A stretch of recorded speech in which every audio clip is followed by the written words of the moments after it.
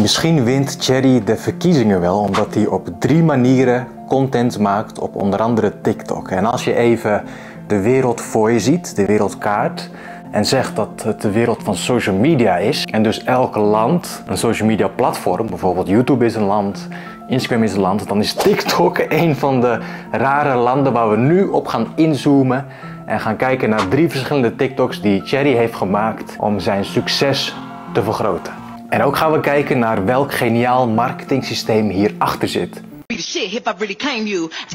Vergeet niet FVD te stemmen op 15 maart. De eerste video is een recreational video. Hij kijkt eigenlijk naar wat al populair is en maakt dat dan opnieuw na.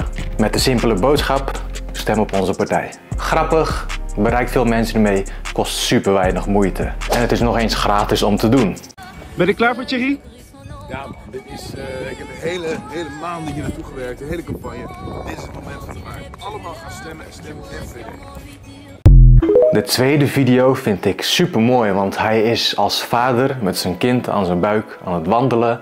Daarbij hoor je nog een populair liedje, wat echt nu in de social media wereld rondgaat, wat heel erg past bij masculine mannen. Dus een populair en passend liedje gebruiken is ook heel handig.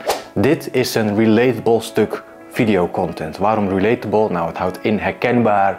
Oftewel, je associeert je met hem van hey, hij is vader, hij heeft een kind, hij wil bouwen aan de toekomst. Nou, daarom zit hij ook op TikTok. Dat is heel belangrijk, want daar zitten ook wel genoeg kinderen. En die zijn dan dus de toekomst. En hij snapt dat al. En het is zo simpel, hè? die cameraman of vrouw filmt hem gewoon tijdens spontane momenten, omdat misschien Cherry een ingeving krijgt. Hij doet het gewoon geniaal is zichzelf en hiermee ook een heel uniek persoon in de politiek. Want terwijl andere mensen in de politiek zichzelf hoog voordoen, zo van ik weet het beter dan jij, zegt Cherry, hey, ik ben net als jij, ik snap wat je denkt, hoe je je voelt, laten we er samen aan gaan werken.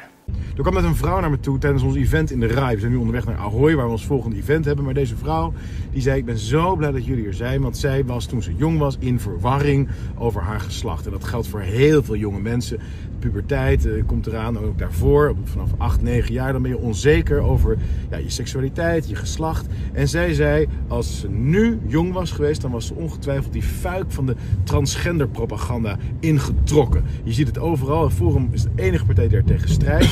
En al die jonge mensen die worden aangemoedigd zeg maar, om uh, na te denken, ben ik wel een jongetje, ben ik wel een meisje. Dan worden allerlei hormoonblokkers aangereikt en uiteindelijk allerlei operaties aangereikt. En als je dan wat ouder wordt, dan merk je, ja, dit was iets van onhoorde bij toen ik jong was. En deze vrouw zei ook, ze had spijt gehad als haren op haar hoofd. Als zij nu die kant op was gegaan. Ze is daar gewoon overheen gegroeid. Ze is gewoon blij dat ze nu een vrouw is op een normale manier. En ja, dit raakt me zo. Dit is wat nu aan het gebeuren is met onze jeugd. Dat die, die, die, die, die onzekerheid die wordt misbruikt door de hele industrie. En wij moeten dat stoppen. Dus op 15 maart Forum voor Democratie, de enige partij die woke indoctrinatie, de transgender indoctrinatie wil stoppen.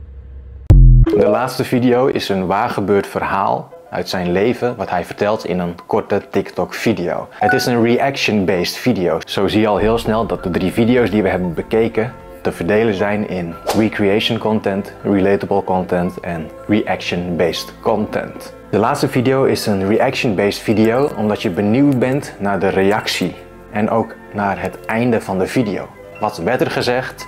Wat zei die persoon tegen Cherry en wat is het verhaal daarachter? Heb je voor jouw gevoel iets gehad aan deze analyse? Vergeet dan niet te liken en te abonneren. En als je iemand bent die interesse heeft in de politiek of in de politiek al zit, of je aan de andere kant een content creator of ondernemer bent, vergeet dan niet te abonneren en ook te laten weten wat voor video jij gaat proberen na te maken in jouw volgende post op TikTok.